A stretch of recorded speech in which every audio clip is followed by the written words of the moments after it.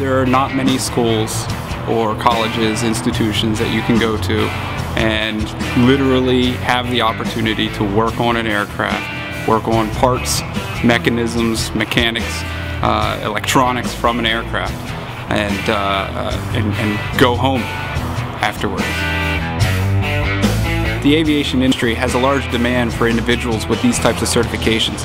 And these aircraft, they can't leave the ground unless those individuals are out there and they're working and they're making the repairs and keeping the aircraft safe. PIA is right for anybody that likes to likes to tinker, likes to tear things apart, likes to problem solve, um, but likes to not only do it with their mind, but do it with their hands as well. The main goal is the quality of the education and to place you. But we take that extra effort. Um, you know, our placement uh, coordinator gets with individuals, goes over the resumes with them, has one-on-one interviews with them. We have companies that come out from all over the place and uh, interview our students right on our campuses aviation is—it's worldwide. It's national.